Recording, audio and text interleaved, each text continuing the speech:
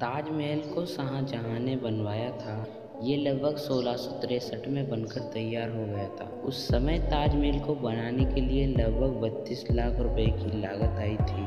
पर आज ताजमहल दुनिया के सात अजूबों में शुमार है। क्या आप जानना चाहते हैं कि ताजमहल की वर्तमान कीमत क्या है? ताजमहल की वर्तमान कीमत बावन हज़ार आठ सौ करोड़ रुपए होते हैं। ऐसे ही इंफॉर्मेटिव वीडियोस को देखने के लिए हमारे subscribe.